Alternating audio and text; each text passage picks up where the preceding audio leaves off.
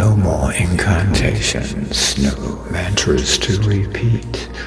Just the oneness we all share, no chaff, just the wheat, as children of the universe, returning to its core, from which we never left, though always wanting more sensory stimulation to fulfill desire.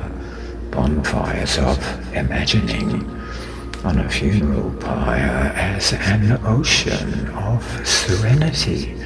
Eternally sublime is unifying consciousness with mind outside of time through exhilarating glimpses of what lies behind, above, and to, underneath ordinary mind.